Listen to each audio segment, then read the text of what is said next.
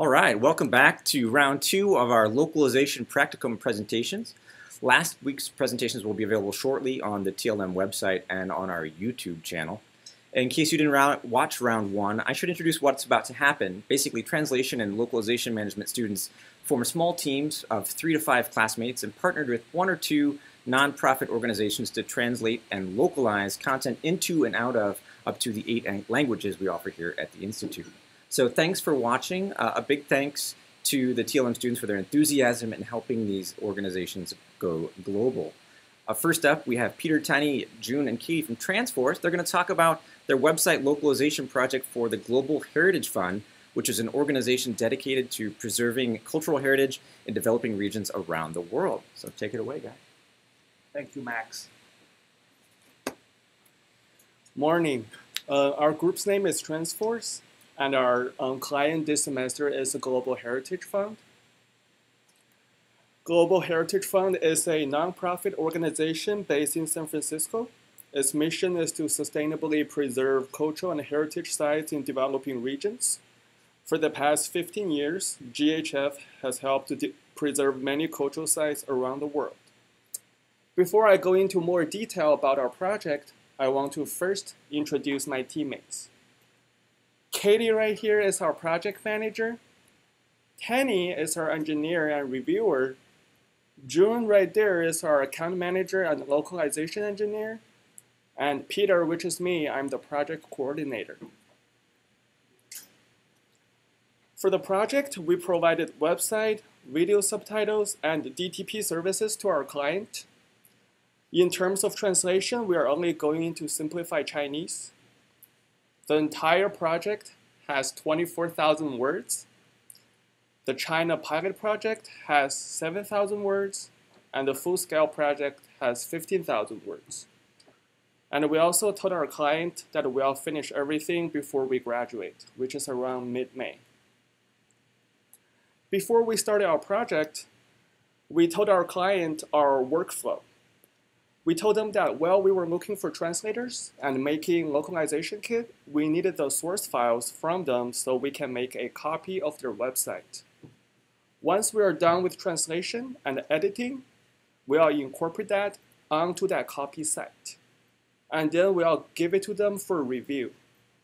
Once they're okay with everything, we'll incorporate that onto their actual website, do a final check, and deliver the final project.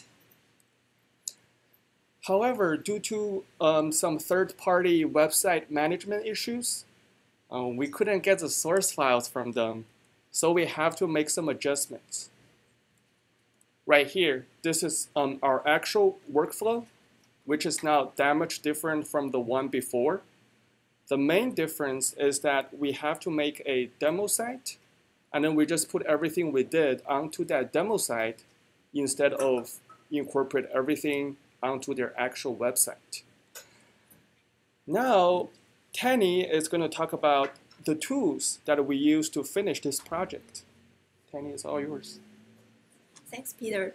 Uh, so here you can see all the tools we use for the project. For localization, we choose WPML because it is a free tool for nonprofit organizations and got all the features we need to translate the posts and pages and also strings and generate multilingual menus. Uh, for translation, we choose Matecat because it is also free and it is based on the cloud and uh, integrates all the great features like translation memory and machine translation in it. And for the Asana and Google Drive, uh, our project manager Katie will talk about that later. Uh, so here you can see the demo site compared to the original website. Uh, it is basically a simplified version of the original site. Then why we need the demo site? First, uh, we want to show our clients how the website is going to look like when it is fully localized and uh, how it's going to work. And second, we can use this uh, demo site as a sandbox to play around with all the tools and optimize our workflow and also identify some issues and try to find out solutions at an early stage. And actually, uh, in the in an ideal world, we should start translation only when the demo site was fully in place. and so we don't need to manually extract content from the HTML pages. But in the real world, when we realize we won't get the database, we need to close the site. Uh, the pilot project is close to the end. So the demo site starts with only four pages uh, we did for the pilot and was later extended to 14 pages when the full-scale project was halfway over. And then how we create the demo site. Uh, so the first step is to design the site structure based on the original one, and then we extract content from the HTML pages we get from the client's website and uh, add some plugins to recreate the functionalities and also the layout. And then we need to customize the appearance of the demo site. And then we came to the translation process. Uh, we create translation pages using WPML and put the translation in them. And the last step is to translate all the widgets and the themes using the string translation in WPML. So here you can see these are some of the uh, plugins we use for our demo site. Then next June, we'll talk about the translation kit and vendor orientation. Thank you, Tanny. So yes, I'm going to talk about how we support our vendors during our project. Um, this is what we offer for our for our translators. We have a translation kit for all vendors, and we also have this remote training program for our Shisu volunteers.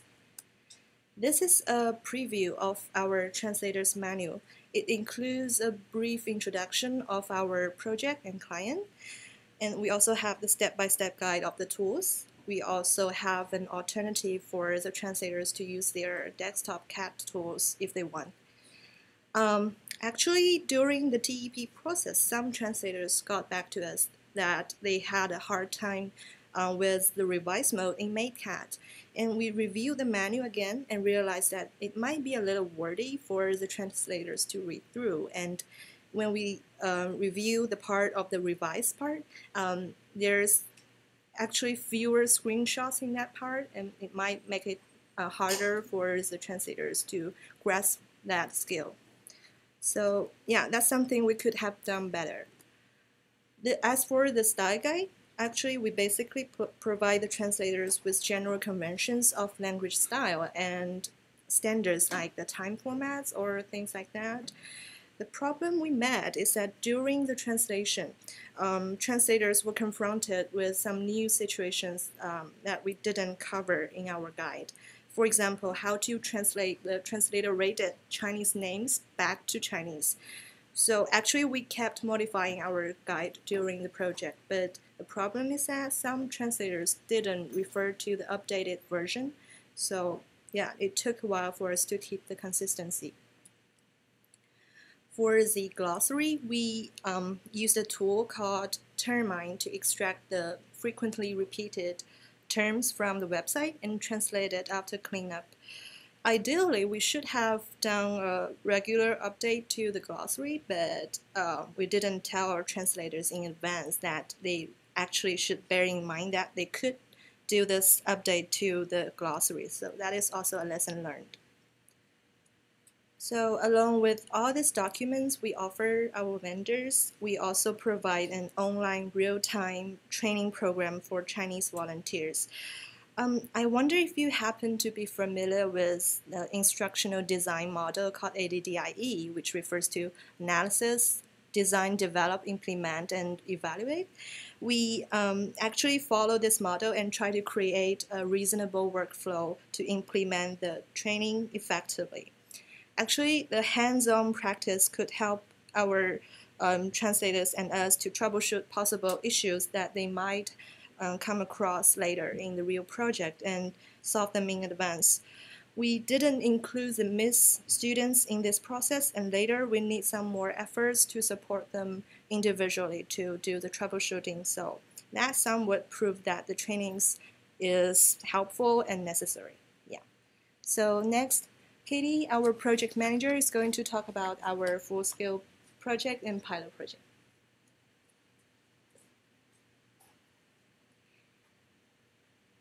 Um, so since uh, we didn't receive the source file from our client, we first created a 7,000 word pilot project with four MIIS translators for uh, four weeks.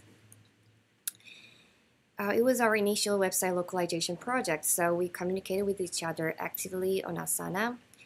And as a project manager, I assigned the work to our team members on the Asana calendar, uh, which sends the notifications to people that I assigned the work.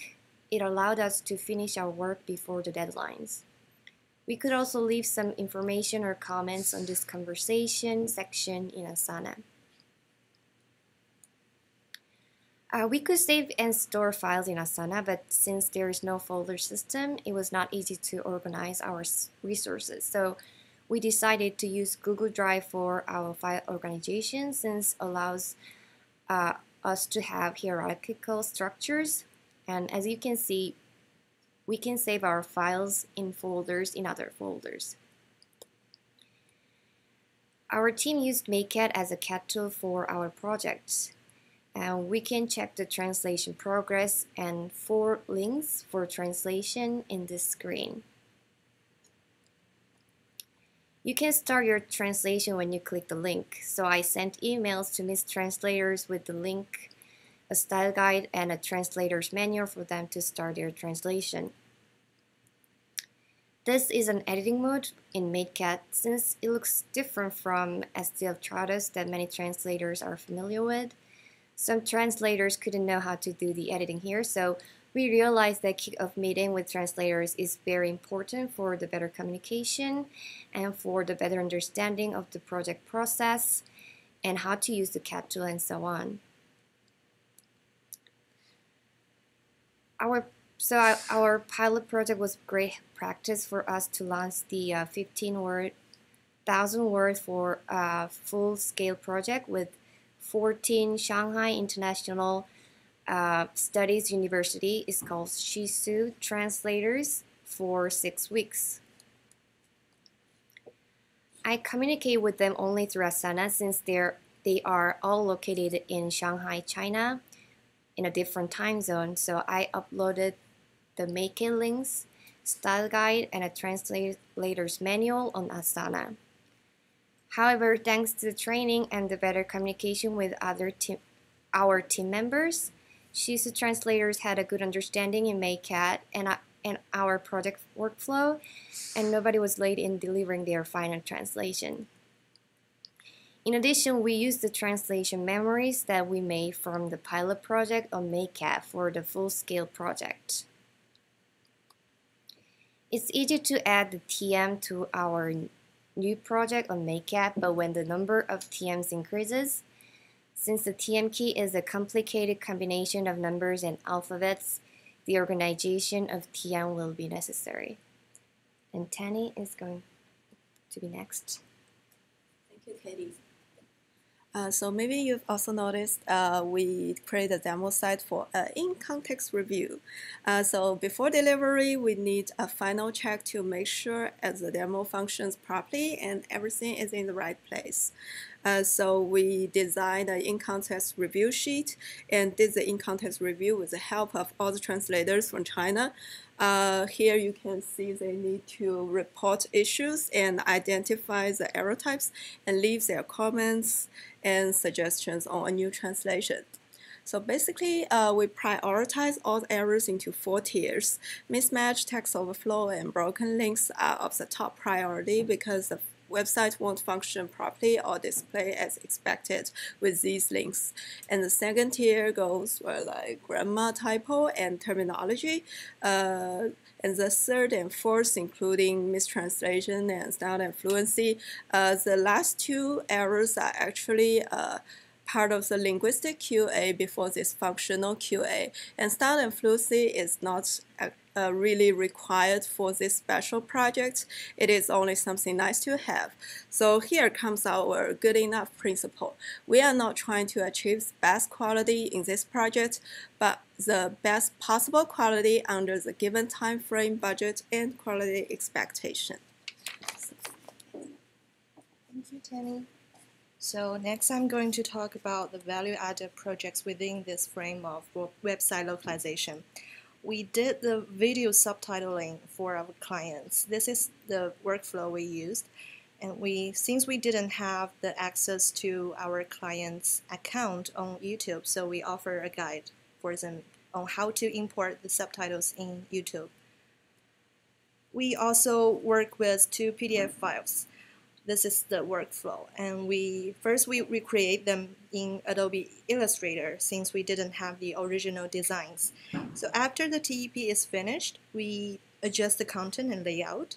We found out a problem that if the DTP specialist is not familiar with the target language, it might be really difficult for this person to adjust the layout, especially concerning with um, the cutting of the sentence, if, if you can see over there with this manifesto file. Um, yeah, our project is pretty much it. Um, here are the deliverables of our project. Beside the things we have mentioned, we also offer our client with a document on some future localization tips. So there are two special tips I'd like to point out. One of them is the payment method. As some of you may know that the most popular online payment method in China is not PayPal, but a local brand called Alipay. So if our client is trying to attract the donors from China, they might have to consider offering this paying met method for the future donors. And the other one is about the video sharing platform. Um, actually, YouTube is not always accessible in China. So um, since we have done the subtitle localization, we hope that our client could upload the videos to some local video platform in China for the audience to view. And we can never thank our volunteers enough because they are being really supportive during the, the project. So we um, not only ask them kindly to do the survey for us to um, evaluate our back and forth work, and we also offer them a certificate of participation to appreciate their contribution to our project. So now Peter is going to show our demo site. Demos. Okay, now I'm going to show the demo site. Okay. Here is the English homepage. When you click on the Chinese tabs, it switches to the Chinese homepage. As you can see, the layout for the Chinese homepage is just like the English one. And then when you go to the bottom, um, click on one of the links, it'll take you to that page. On this page, you can see one of the video subtitles that we did for our client. Um, all you have to do to see the Chinese subtitle is to just change the setting. There it is, the Chinese subtitle. The UN called the Global Heritage Fund in Palo Alto, California. And then here is About Us page. You can see the localized uh, manifesto that we did for our client. Here is a PDF version. And then now we are going to their staff and board page. This page is very text heavy, also with a lot of expandable tags. Uh, here is another demo page right here. Also pretty text heavy with a lot of tabs. Um, and then button, you click on there, take you to another site. Uh, yeah. And then we are just doing some clicking around right here. And then this page is, um, has a pretty complex layout. And then here is a membership form in PDF format. And then now we are going to the donation page. Hopefully after this, they can get more people to donate. And then when you want to go back, just click on the logo and they take you back to the homepage. That's it. Thank you for listening to our presentation. Thank you. All right, thanks a lot, Transforce. Good work. Next up, we have CSA Studio, made up of Chang, Sophie, and Amber. They're going to talk about their project with the Butterfly Children's Hospice, an organization that provides care and treatment for children in China with serious illnesses and helps families helps their families go through these difficult times. CSA Studio. Okay, good morning everyone. Welcome to our presentation. We are CSA Studio. Um, our studio is a student-driven studio that uh, built your localization, localization solutions. There are three people in our team. Sophie is our account manager, I'm Chang, the vendor manager, and uh, Amber is our localization engineer. We are all project managers. Our client is Butterfly Children's Hospices. It is a nonprofit organization that provides care and treatment for, um, uh, for children with serious diseases. And we did three projects for our client, audiobook localization, document translation, and website consulting. We have many people working collaboratively with us on these project, and we devoted most of, of our effort to audiobook localization and the rest of the time for the other two projects. The projects lasted for four months. And throughout this uh, project, we use a number of uh, tools. For example, Memsource is our CAT tool, and we use four tools for DTP, including Audition. We use three tools for the overall project management. We use Google Drive to share, sort, and also to um, store our project files. We use Project Libre to track the pro pro project progression. We use the Wunderlist to improve our working efficiency because it supports us to deal with the day-to-day -day task. Um, uh, our team member will receive re emails when every time when a task was assigned to them or they have a task due very soon. Now let's dive into our audiobook localization.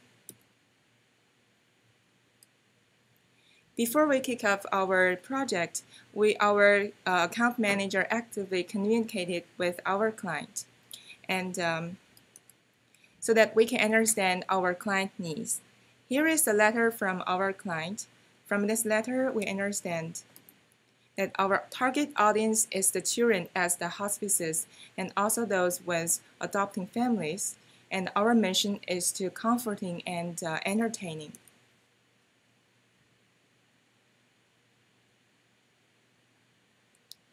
Our project is to localize a children's book, The Peterkin's uh, Papers, from English into simplified Chinese. And it is a collection of fun stories from which we chose uh, 14 for our projects. And the target uh, format is PDF, EPUB, and also audiobook uh, in MP3. We follow the general workflow uh, of TP dubbing and DTP. The, uh, the, the duration of our time, uh, audiobook is 145 minutes and we translated approximately 90,000 words.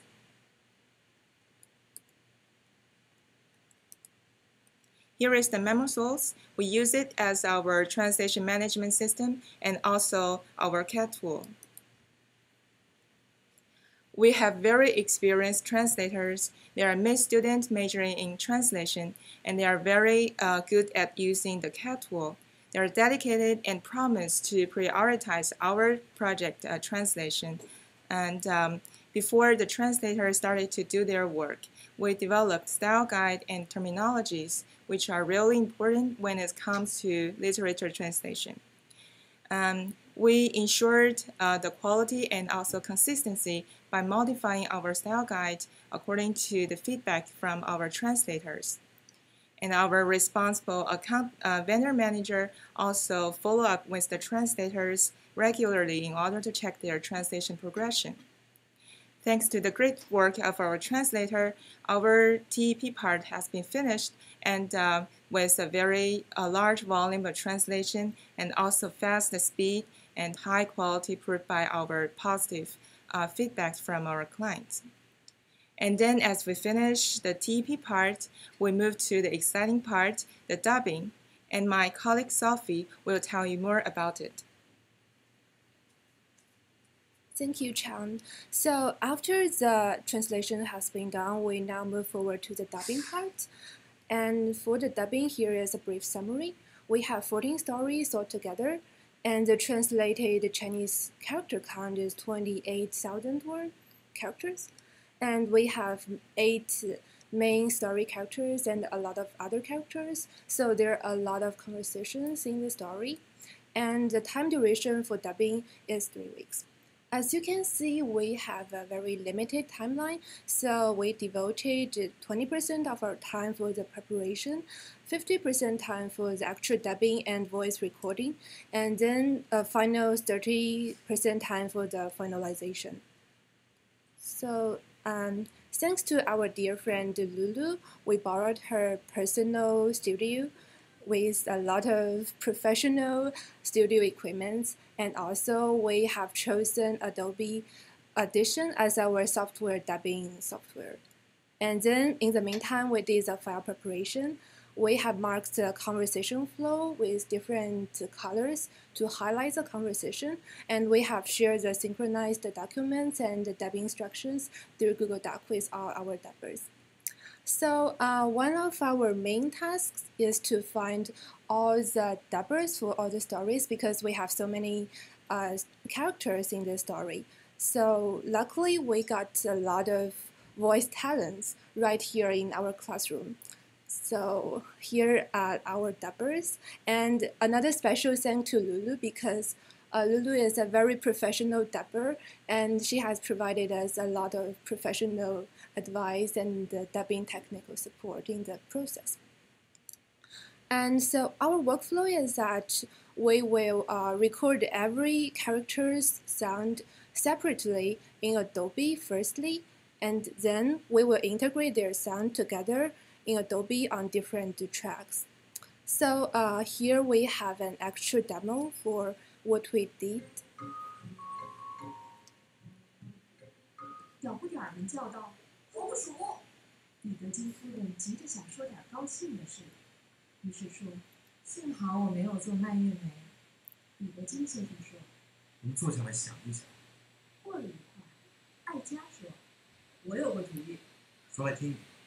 每个人都说说自己的想法。火鸡肯定在厨房门的上方，如果有梯子和斧子，我可以砍掉灰泥，拿到火鸡。好主意。只要你没办法。找个木匠会不会更好？木匠也许会有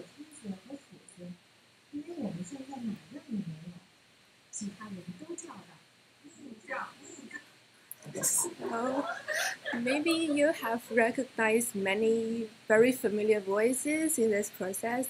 Yes, they are all our classmates. So uh, for every story, we added a zooming music at the start of the story, and then we try to integrate all the sound together to make it sound more natural instead of just the monologues.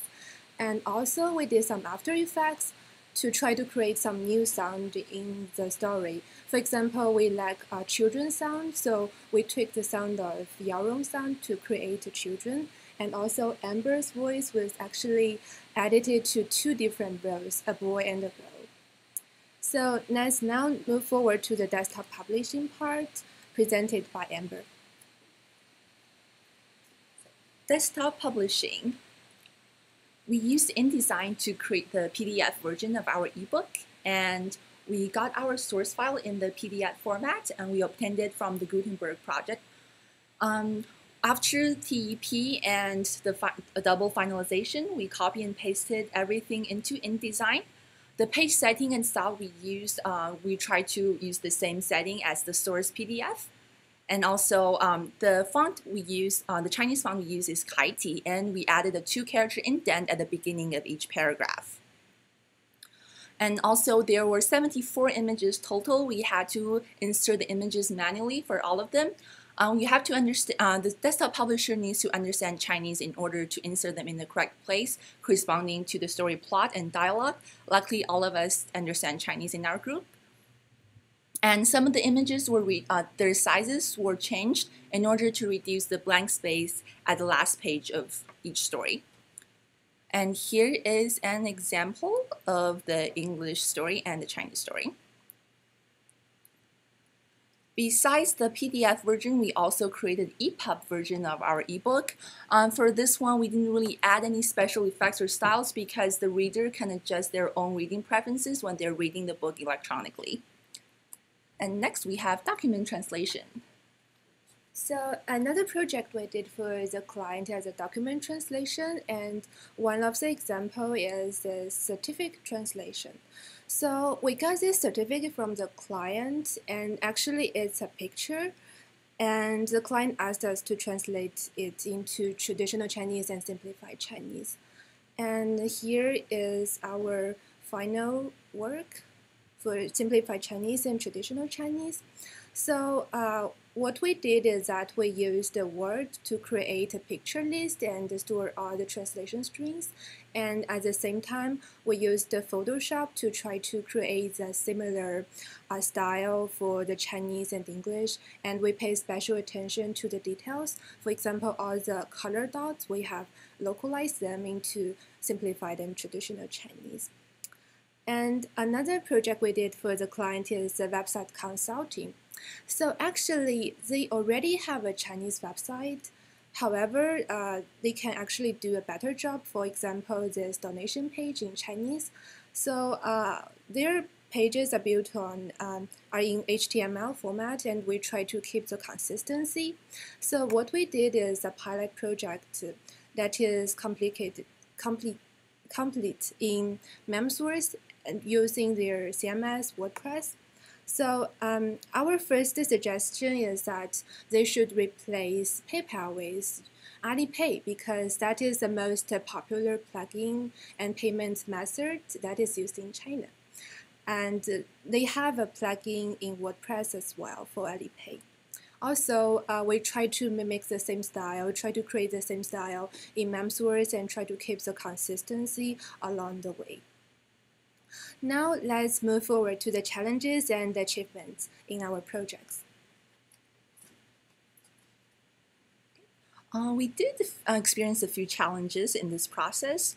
Um, first is the difficult meeting deadlines. Um, at first, when we set our timelines, they've seemed very plausible. However, things did not turn out to be exactly as we expected. And for our book uh, lo storybook localization process, um, all the steps are dependent on the previous task. So we couldn't really do many things simultaneously. Uh, one or two very small delays of one task could cause a delay of the entire process. And also for our um, for our book, the target audience is very young children, so we have to uh, adapt the language to um, accommodate their reading level.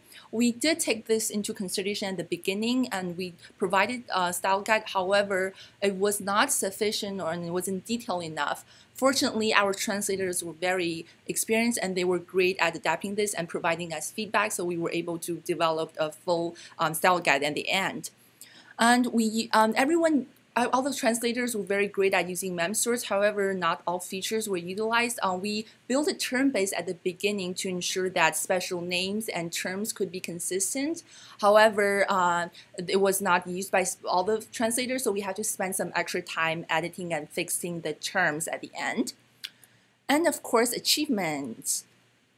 And the communication between the three of us went seamless, and the collaboration um, be, uh, with all the other volunteers went great as well.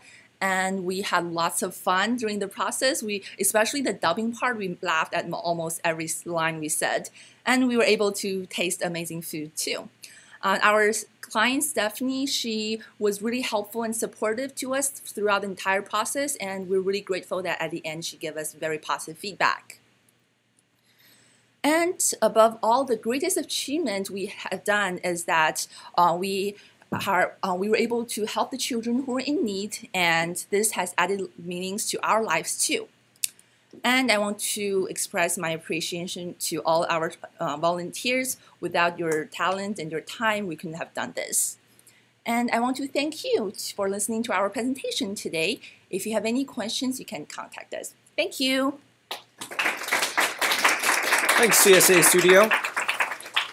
Next up, Localingua. Lauren, Katrine, and Jerry will discuss their localization project this summer for the IGDA, the International Game Developers Association, an organization which fosters game developers and game development communities worldwide. Right, good morning, everyone. Uh, we are Localingua for the IGDA. I'd like to quickly introduce our team. Um, I'm Lauren Scanlon. I was the account manager for this project. Uh, Liebert is our main project and vendor manager, and Chenwen Jerry Chen is our localization engineer and DTP manager. That being said, we all uh, helped out on each of these roles because of our small team. So when we started this project, we talked with our client about what their needs are. Our client is the IGDA, or the International Game Developers Association. Their goal is to connect game developers in small communities across the globe. Right now, there are about 8,500 members in about 90 professional and academic chapters all over the world. Um, so when we approached the IGDA, we were thinking of maybe doing a website localization project as well as some PDF and DTP work. That being said, um, our client asked us ultimately not to do a website project because their content is so dynamic and always changing, it doesn't make sense for their needs. So we concentrated on doing five PDFs, which mainly deal with um, chapter creation, special interest group creation, etc. Um, so this turned out to be about uh, 3,300 source words in uh, those five PDFs across eight languages, which were simplified Chinese, traditional Chinese, Korean, Russian, Brazilian Portuguese, Spanish, French, and German. Uh, this ended up being almost 27,000 words total. Uh, we also were asked to do a PDF uh, sort of transcreation adaptation project where the client provided us with a PDF that they use, or a banner um, that they use in their work and asked us to make it more international. So I'm going to let my teammates talk to you more about that. Uh, we also developed a translation kit for the IGDA to use in their future projects. Now I'm going to let Katrin tell you about the project structure. Okay, so um, yes, let's talk about the project structure. So the first thing would be to source for linguists and um, deciding on which languages to go for. We did that mainly in the meetings with the client. The first one, the kickoff meeting, we're talking about possibly, you know, which languages to localize into. And um, for example, Japanese was one language that we cut out because the IGDA has already got um, um, big members, um, membership community that is already contributing a lot of volunteer translation. So yeah, as Lauren said, um, the other eight languages were the ones we decided on, and we had meetings with the um, different linguists, and um, of course, um, yeah, email exchange to um, set kind of like the work that we would require from them, for example. And um, we also had a resource document where we tracked which resource would was working for which language because it was quite a lot of languages and files. So um, since we've kind of been fluid with some roles, like we all did a little bit of project management or, you know, like any kind of linguistic work, for example, as well. I did some translation myself. Um, we had that um, resource document. Um, then um, this leads to the next um, slide, which is scheduling and batching. So we decided to put it into three batches because of the um, different linguists had other projects as well and kind of to keep a better overview. And um, we then decided on the priorities, like talking to the client, which one would be of the highest priority.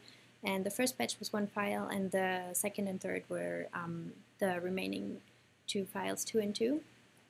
Um, the Workflow included also um, yeah translation, edit um, from MIIS students or resources, and um, we also decided to add another step, which is uh, like to have a have it overlooked by subject matter experts from the IGDA, which um, leads to my next slide, and that is the IGDA review because we wanted to ensure that the content we deliver is kind of coherent with the, the language that the um, IGDA members use because the files that we delivered or the um, translations we did was about kind of acquiring new members um, and studio affiliates or ac academic affiliates. So that was the content of the translation. So we wanted to make sure that it's consistent with the other um, promotional material that the IGDA has.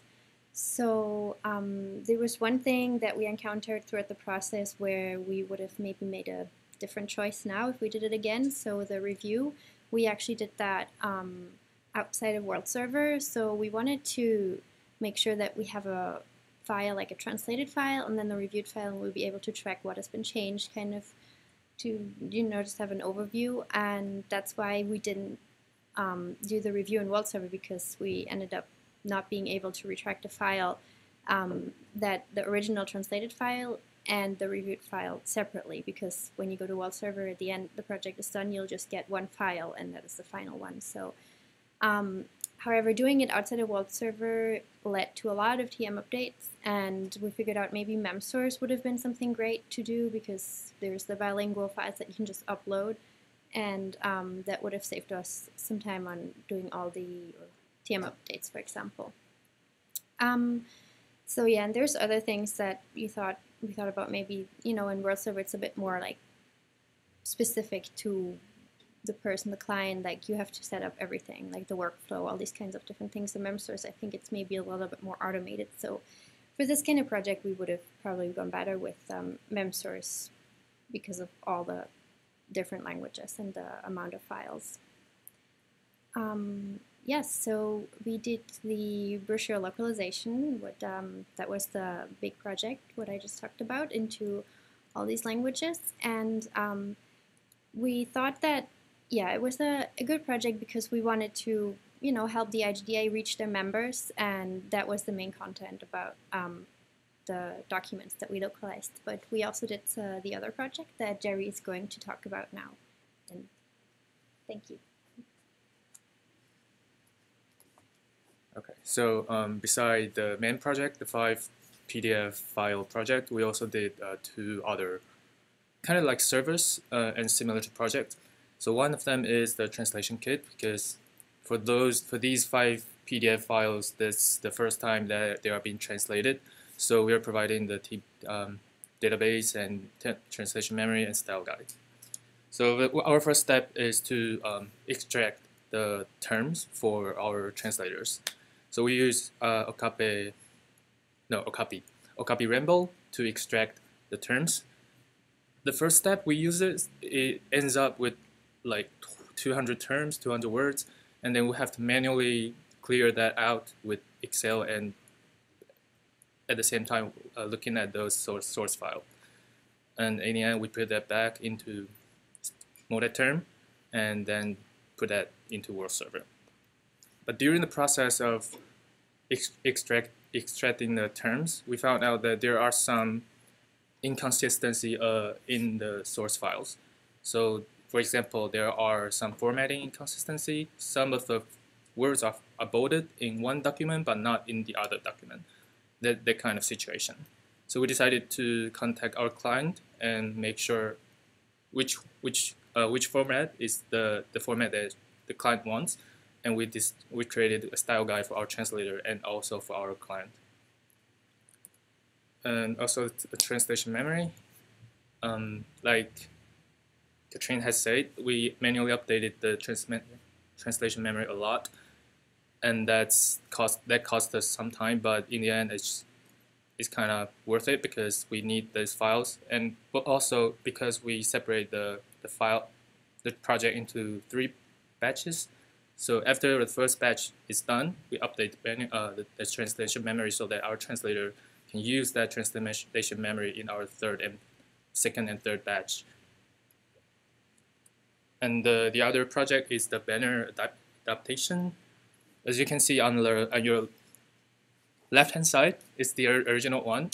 It's the original banner.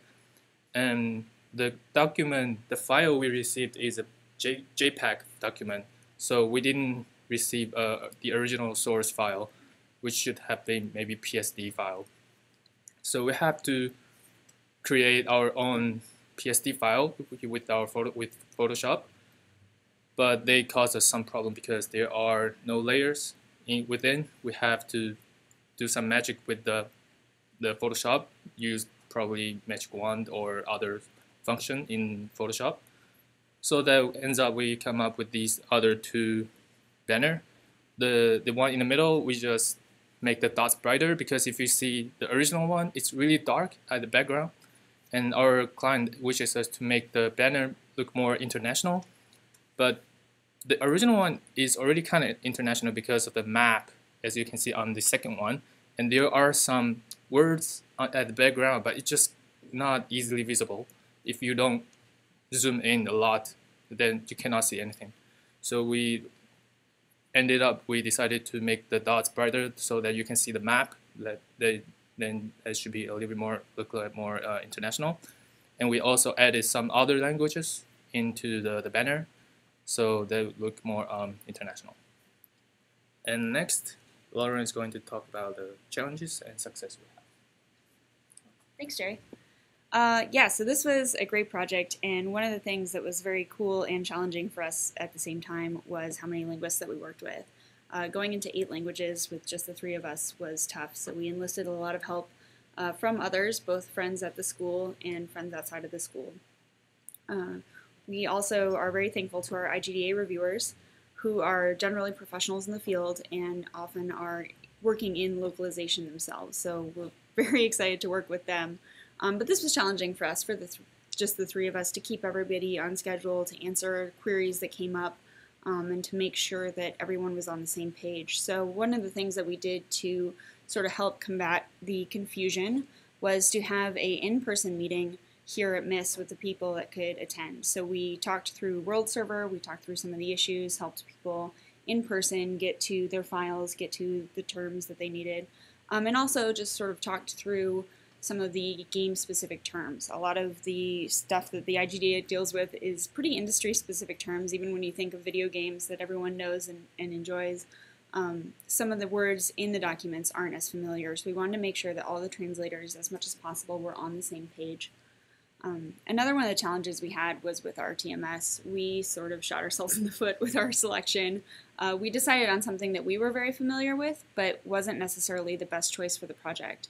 So if we did it again, uh, we would spend more time initial on the initial TMS selection and sort of figure out what our project was going to need and what would work best for that. Finally, uh, one of the really cool things about this project is how creative we could get uh, with the banner and with the documents themselves. Um, our client was really great in working with us and giving us a lot of freedom, and so we really had kind of a lot of fun figuring out how exactly we were going to tackle this project and what we were going to do. So uh, again, I want to thank you all for coming and thank our client.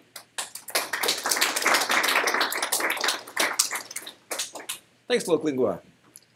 All right, next up, LoQu, Barry Christina. I can't say LoQu without smiling. LoQu. LoQu. Barry, Christina, Lucy, and Xijing from uh, LoQu will discuss their localization project this semester for API Equality Northern California, an organization which builds, which builds LGBTQ API power to amplify their voices and increase visibility in their communities. Take it away, LoQu. Thank you, Max. Hello, everyone. We're LoQu. The project that we have been doing is the website localization for API equality in Northern California. So um, API Equality in Northern California is a nonprofit organization that supports LGBTQ movements for Asian Pacific Islanders in Northern California. And our team consists of four people. Uh, Yunxi Lucy is a project manager, Sijing is an engineer, uh, Li Christina is a TEP coordinator. And my name is Heng Wu, and the account manager of this project. Although we took different responsibilities, as the project progressed, we um, put on different hats as needed. Now I'm going to show you a short video that will give you an overall look of our project.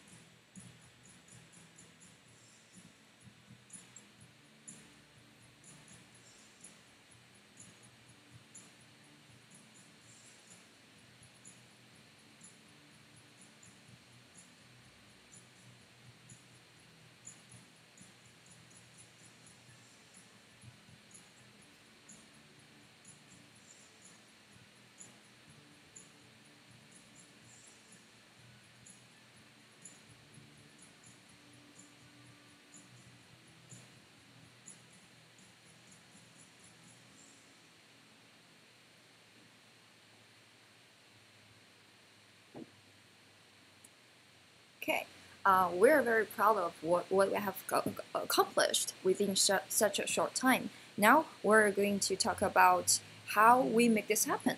I'm going to introduce um, the work phases. There are overall five work phases. Uh, request for proposal, then translation kits preparation, then um, translation, editing, and desktop publishing. The fourth phase is content import and on-screen QA, and then we finalize the project and deliver that to our um, client. In the first phase, we propose a plan to our client API Equality Northern California. After we confirm the specifications of them, uh, we issued a statement of work and a purchase order. Then in the second phase, we migrated the website to our testing website. We prepared the source file, recruited 11 translator, uh, translators from China. We prepared the TM, TB, reference materials, and the project instructions. Then in the translation, editing, and DTP phase, um, the 11 translators translated the content in MemSource Cloud. We edited the content, and two DTP specialists performed the DTP work. Then in the fourth phase, after the content is imported to the website, we performed on-screen QA and then fixed all the bugs. After that, we finalize our file and linguistic assets and deliver to our client. Now we love to share some uh, uh, practices and reflections on this project. Thank you, Christina. Um, now I'm going to share our um, experience on project management. The first thing that I want to talk about is the automation tools that we used in this project. We used nine tools in total uh, because We use nine tools in total because uh, our client site is WordPress based. So we used the WordPress uh, plugin QTranslate X. And as for CAT tool, we used the MemSource Cloud to um, uh, run scope, uh, set up a TMTB, translate files, and perform QA. Um, to facilitate our team communication and file transfer, we used several platforms uh, such as Basecamp, Evernote, and Google Drive. We did uh, DTP work using Photoshop, and also we used um, Adobe After Effects and Audition to uh, create our um, project demo. Uh, the second thing that I want to say is about the organized workflow. Although we started our um, project a little bit late, but uh, and it's not a small project, so we were concerned that we will uh, not be able to meet the deadline. But it turned out that an efficient workflow really helped us get started immediately and um, uh, saved us time. And in terms of internal management, we have a shared folder on Google Drive that stores uh, all the files that we need for this project. And we have a team meetup on a regular basis um, to propose the solutions to, uh, to the problems that we encountered. And the last one is a detail. We have a keen eye for detail and we focused on every detail such as font, uh, file format, and punctuation, etc. And now please let Christina to talk more about the vendor management. Okay, thank you, Lucy. Uh, now I would love to share some of our experiences and lessons learned from a vendor management and CRM perspective. This is a project of over 29,000 English words uh, with 11 translators work, working remotely from China. To work across time zones was not an easy job for us to manage. When we first start to recruit the translators, we got a very good response from the Chinese translators. We were able to have enough um, candidates to choose from, and we also have backup translators in case anything happens. But we still don't want to have any um, people uh, quit halfway through after the project starts because we really cannot afford any delay and that will affect our following tasks. Um, therefore, we made it very clear what we're going to do, what client we're going to work for, and what the workload will exactly be before the translators are officially um, onboarded. And we're very lucky to have a group of very responsive and responsible translators who supported us all the way through this project. And another issue is that uh, before the, trans, um, the translation actually started, we expected the communication process might be very time consuming, uh, given the fact that we work remotely in different time zones. Then, um, to save more time, we think we need to make sure there's no mistake or confusion in the instructions we provide to them. Therefore, we reviewed every instruction at least twice and have everything tested out before we hand them to the translators. That did help us to save a lot of time as the pro uh, project proceeded. Um, also, our translators are actually all um, first-time MemSource users.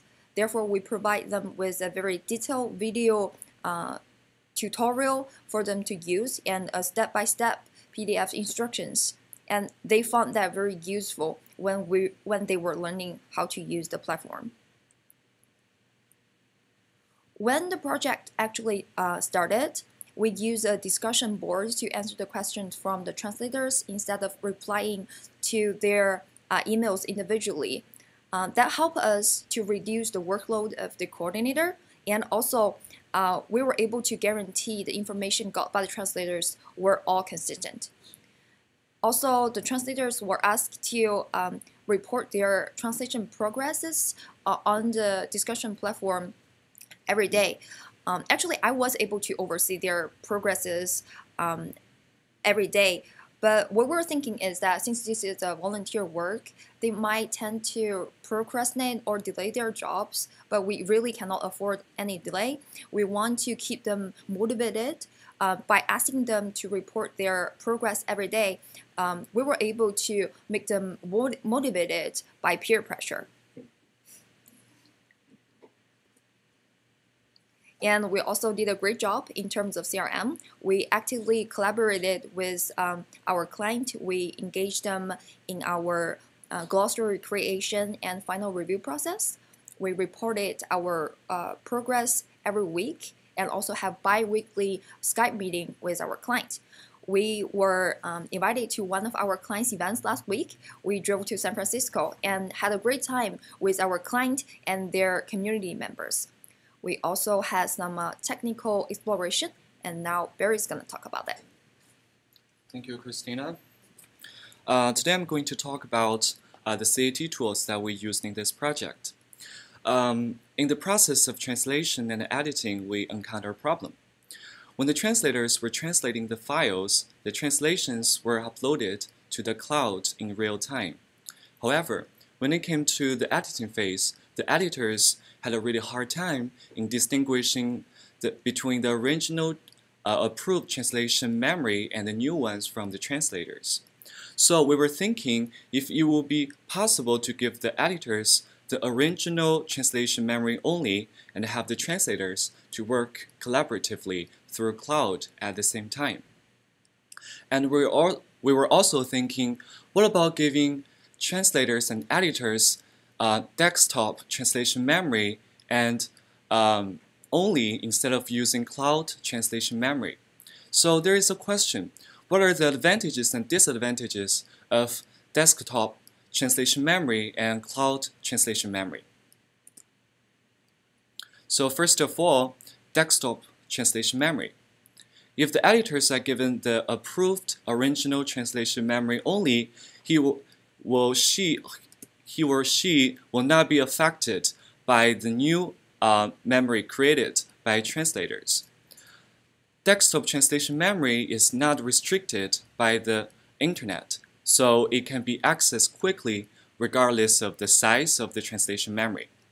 However, if the desktop translation memory is given to translators and, and editors. The translation company takes the risk of losing their language assets, and the translation memory cannot be shared remotely in a group. Then, what about cloud translation memory? Cloud translation memory can be shared remotely and is searchable anytime, anywhere with the internet. Additionally, translators and editors are not allowed to download the TM and TB, so the security of language assets is guaranteed. But at the same time, the cloud translation memory is restricted by the internet access, and the search results come out very slowly when the memory is very big or the internet speed is not fast enough, which will greatly affect work efficiency. So, what would be the best solution to the problem that we faced? Because of uh, the time constraints, I can't explain everything details. After some research, I found that the best solution would be working with uh, desktop translation memory and cloud translation memory at the same time. For example, SDL Trados Studio allows desktop translation memory to be encrypted at different levels in order to ensure the security of language assets. At the same time, we can use SDL Group Share to centralize, share, and collaborate on all our translation projects. And in this project, we use WPML and QTranslateX, uh, and our engineer Sijin is going to talk about the differences.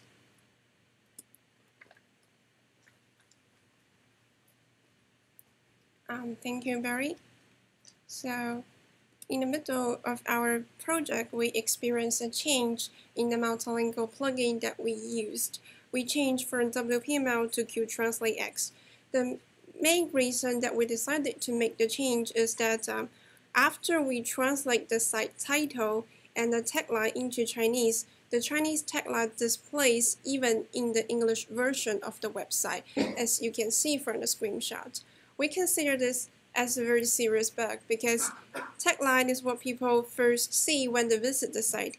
And since for now a large proportion of the uh, visitors are native English speakers, we don't really want our client to take the risk of messing up their English version's website. So we've decided to change to QTranslateX but we still keep WPML in one of our testing sites for experiment purposes, and then we get to compare the two different most used multilingual plugins. And we think it's a good idea for us to share this experience, experience with you. Uh, X and WPML, they work differently. QTranslate X stores different languages for each post in the same post, but WPML uh, stores the content of uh, all the languages into different posts and link them automatically via the plugins. So if we used different plugins, we will have different processes. If we use QTranslateX, the site administrator need to copy and paste all the sources manually and to the Word and set the files to translators for translation. After translated, the files also need to be sent back to the site administrator to be published on the website.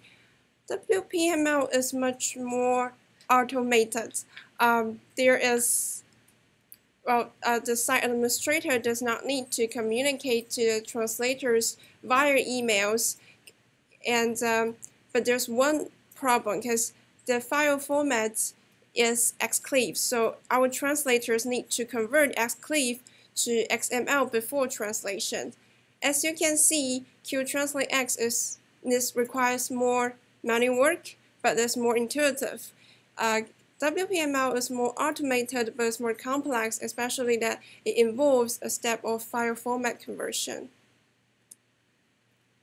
And WPML has a more complex architecture. It needs to hook to many different WordPress functions so that it can get more content to be translated. Therefore, if we use WPML, we can enjoy many, many more features. But QTranslate is much simpler. Uh, if there is something that it does not hook to, we need to insert the language text manually. But it also means that we have less things to break if we use QTranslate X. And uh, we are not saying here that which plugin is much better than the other ones. The reason we chose QTranslate X over WPML is that it's more suitable for our specific project. It's easy to use, and our website is relatively small website. So it, even if it's a little bit manual, our client does not need to spend a lot of time and efforts in using it. And if there's an exit plan, that means if in the near future our client decides to grow this website and localizes into more languages, uh, they can always migrate their website smoothly from QTranslateX to WPML because WordPress does provide support of this kind. So with all this back and forth, we finally come to wrapping up our project and we have received a feedback from our client that we really want to show you. Hi, my name is Lin. I'm one of the organizers at API Equality in California. And I'm really thankful to Barry, Christina, Lucy, and Susan for um, us with this opportunity for localization. Um, it's, a, it's been a great opportunity to see our content being translated to Chinese, and I think they did a great job in recruiting all the translators. And so I look forward to working with more students on this and showing the data to um, all our Chinese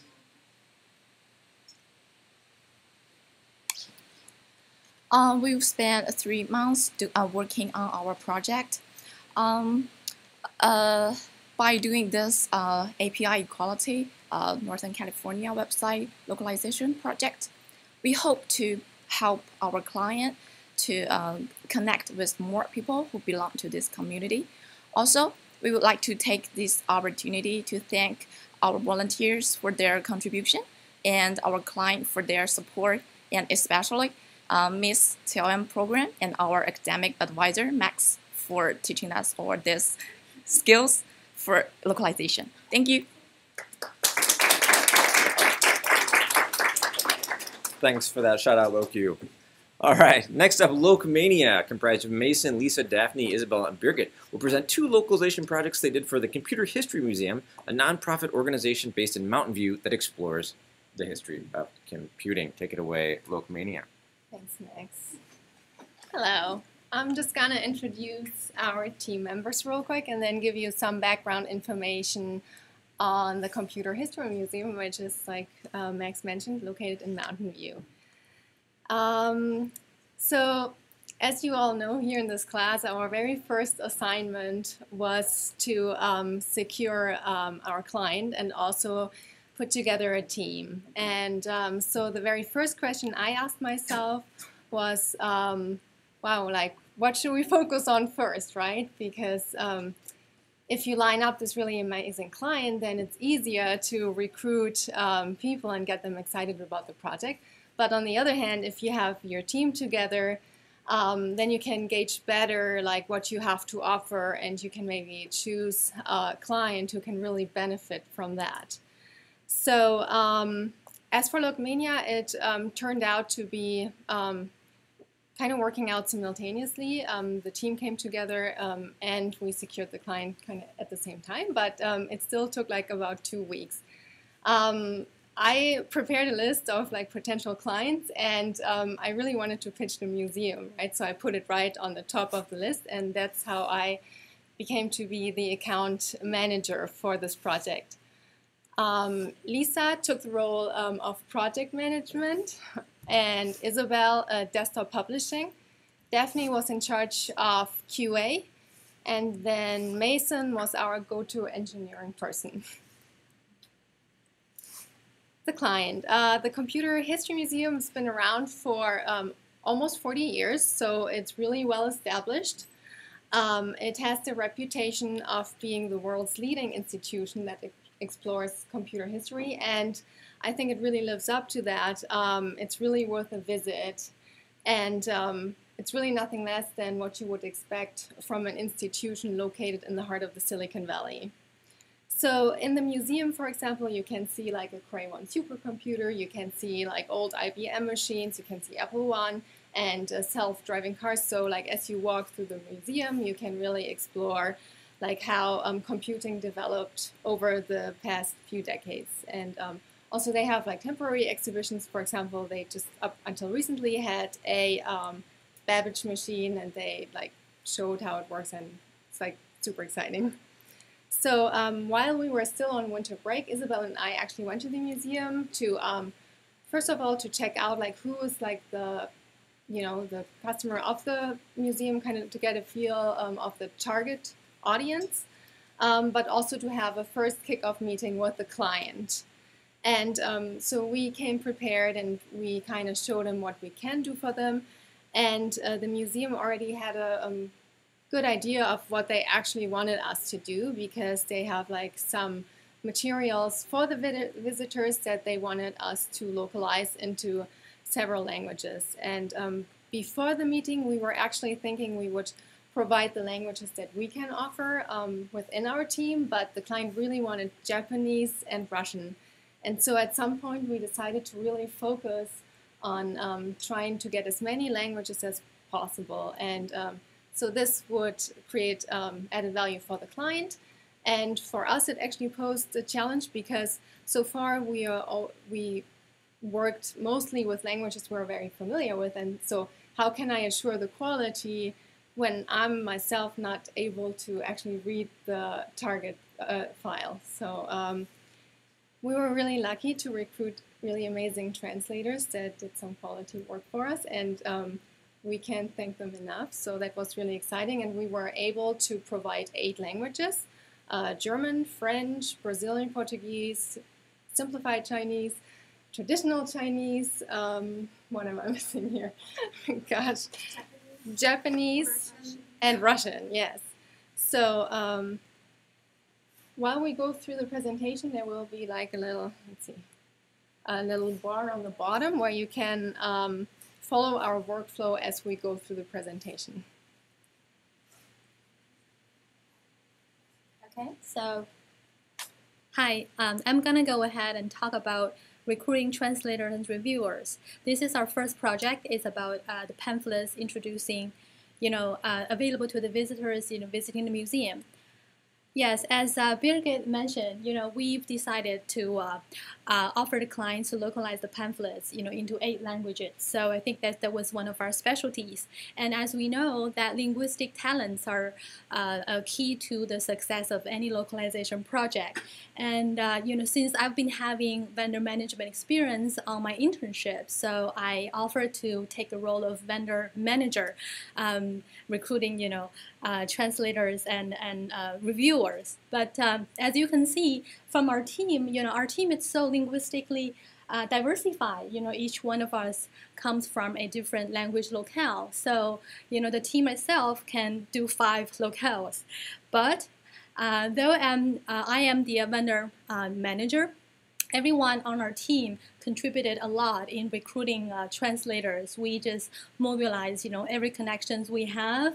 We talked to our friends, we talked to our professors, and Mason talked to his roommate, and his roommate talked to his girlfriend. okay, and finally we got everything. And I have to say, out of the eight languages, you know, um, French is really one of the languages that we had some kind of trouble because as we know that, you know, on the uh, entire campus, there's no native French speakers in the second year, and there's only one native speaker in first year. So uh, her name is Charlotte. So here I have to uh, thank Daphne. yeah, she uh, offered to uh, invite Charlotte to coffee and uh, talk to her about how amazing our pro project was gonna be. And uh, you know, she just you know got Charlotte. And you know we're gonna you know pay you the money, split the, the, the coffee money. Well, so uh, we got our uh, translate, and we also managed to have different uh, people handling translation and, and reviewing. That's kind of the uh, standard in the industry. Uh, uh, so here, you know, I like to, as Birgit said, express our sincere gratitude for the work ethic our translators and reviewer have demonstrated. You know, they hand, they uh, uh, they delivered translation on time and they did very uh, good job. Uh, and they were very open to uh, open to communication. Whenever they have questions you know we communicate through email and uh, our engineers Mason our DTP specialists would jump in and you know it's very friendly ambiance within our team with translators and reviewers. And you know we you know, um, uh, as we benefited a lot from our translators and, and, reviewers, our translators also express that they have learned a lot through working with us. And now I'm going to read just a line uh, from the email that's sent by one of our traditional Chinese translators. She goes, uh, Well, Lisa, um, uh, thank you for inviting me because I learned so much in this project. And thanks, thanks for inviting me. So I'm so um, you know glad and, and, and you know grateful that we have such fabulous uh, talents working with us. Okay, now uh, we'll have Mason. Yeah. So now, before we started launching the project, and we're waiting on the source files from the client, I set up a few internal things, uh, good communication. So the first was I set up a company website so the client could get a better idea of who we were. Since only two of our team went to the kickoff meeting, we wanted them to know that they were in good hands and that their translations were in good hands. So it's just a quick little site about who the team is, what our roles are, what our languages are, the languages we can offer, who we are, and how to contact us. And then I also set up an internal system for us to communicate because we needed a centralized location to put all of our files, put all of our tasks, everything, all the information we needed needed to be in one place. So I created a tracker for us to track all of our work. And we also made a task so we could write tasks to each other and make sure they were getting done. And then we needed somewhere to store all of our files. So we chose Google Drive to store, all, to store our files. And this is the general structure that we went with. So we had a project folder and then an individual folder for each department for miscellaneous things for the department. Then within the projects, we broke it down into the different steps. And production is where most of the files are and most of the stuff happened. And we needed to make sure that we had, you know, the, different QA steps, the DTP, and the review. So everything was in order of how we did it. And now Daphne will talk about QA and glossary. So after Mason set up our internal um, communication channels and the folder structures, it's time for us to jump in and started to prepare for translation.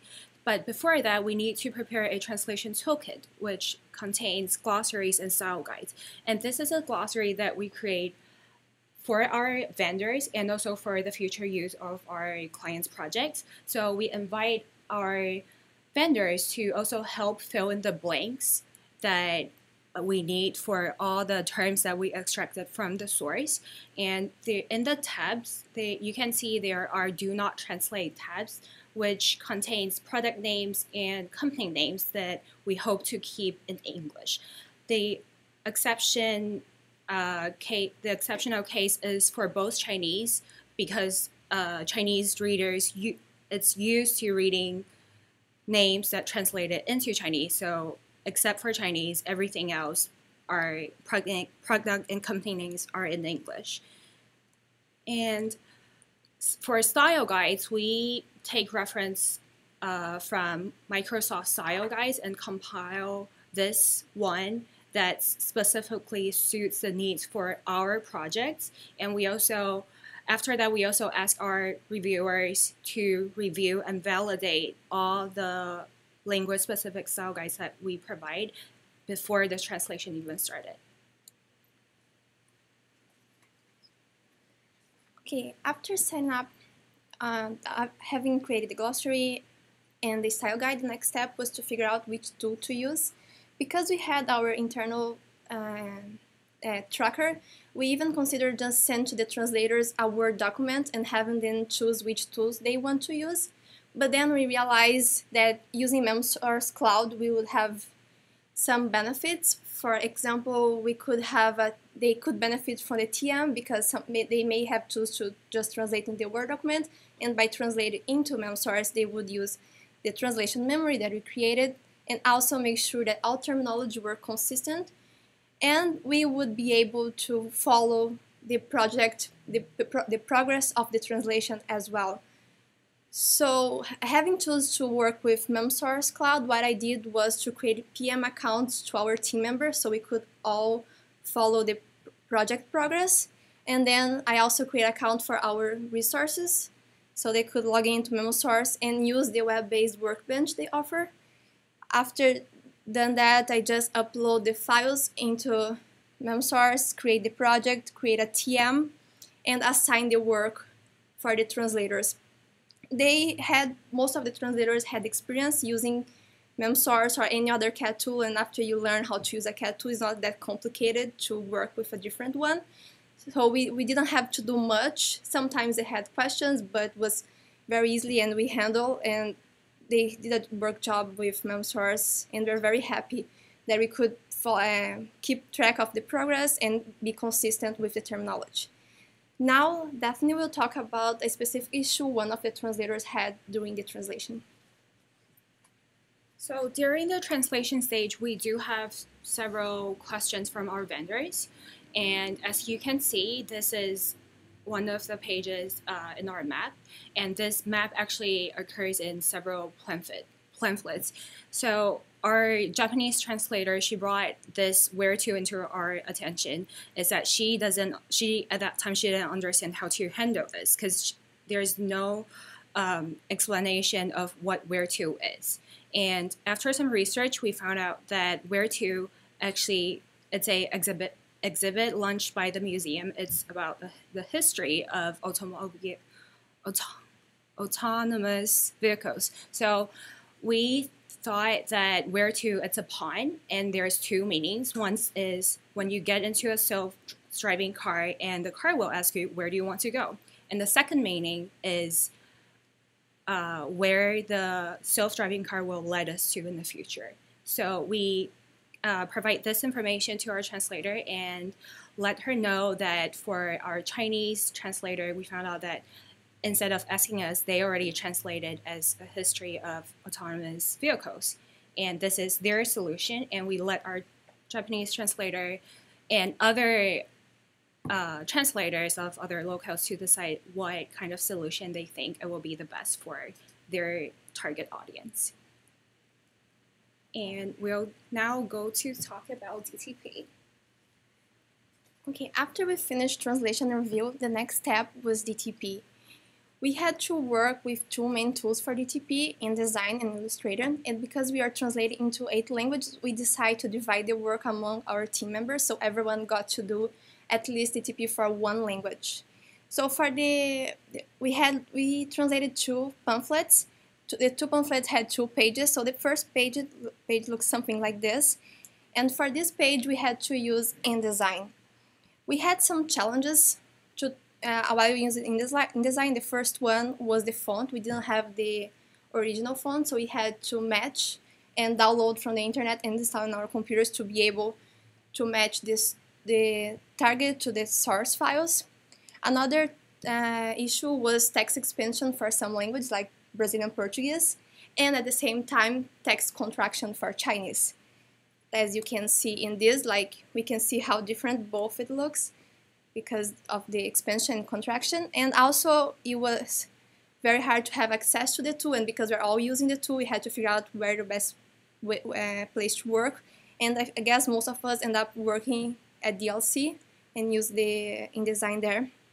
And for the map, we had to use Illustrator. I would say the biggest issue working on Illustrator was to recreate the text boxes because all the English text boxes were not editable. So we, what we had to do, we had to recreate text boxes and hide the English text to be able to match. And then we had like we also had to remember to link the Illustrator file with InDesign so we would update the image on InDesign. And here we can see one more example of the German translation as well. We also had some expansion for German.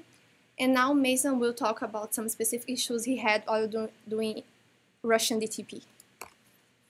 So, the Russian DTP gave us the most problems because one of the reasons was I think Russian expanded the most out of all of the languages. So as you can see, this caused text to overlap. So I had to find some creative solutions on how to work around this. One of them was there was a lot of white space in the margins, so we had to get rid of some of that by moving the rows up and down to give us more room. I also had to reduce the leading and the font size. And another issue was the font, original font in Russian didn't have a bolded version to it. So I had to find a similar font that did that was bold to make the headers. And then above the pictures, there's the little titles. That it was impossible to make it fit on one line like the original without making it size 2 font. So we had to break it into two lines, but luckily we had extra space by taking up the white space. And after the first round of DTP, we decided to, as a group, print out everything we did and look at them side by side and discuss our issues that we had to figure out workarounds. And then it was a good way because we realized that things we did for one prod for one language was a good solution for other languages. And this really gave us a good overview and allowed us to come up with creative solutions. Now, the second project we did was a video subtitling for some of the promotional videos, for two promotional videos on their website. And now Daphne will tell you more about the subtitling. So um, here's our workflow. Uh, are seven steps in total. So after we got the video, we immediately went into the preparation steps. And thanks to Mason, he's a native speaker, the only one in our group, so we'll be able to have an accurate trans transcript of our video. And at the same time, we also create uh, SRT subtitle files in order for later's uh, on-screen subtitling step. And we put the transcript uh, in Word doc format because that's the format that MemSource will be able to read. And then we go into translation. So after TP, we have one step is string shortening. So is this is uh, what we do for string shortening. So uh, for APAC language, the character limit is 16 uh, characters, and for EMEA languages, it's at, first we thought uh, 20, 32 will be enough, but later on we realized actually 40 it's it's more reasonable for our case. And after that, we Im embed the subtitles into our videos and do a final on uh, on-screen QA. And please take a look of our video.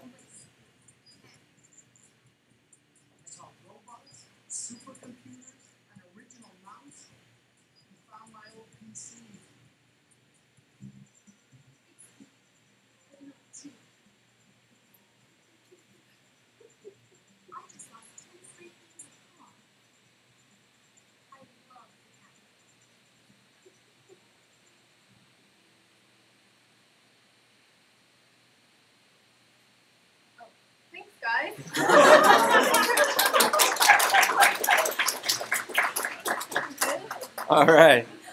Thanks, Locmania. Um, if you liked what you saw today and would like to learn more about the Translation and Localization Management Program, check out go.miis.edu forward slash TLM. Uh, thanks for watching.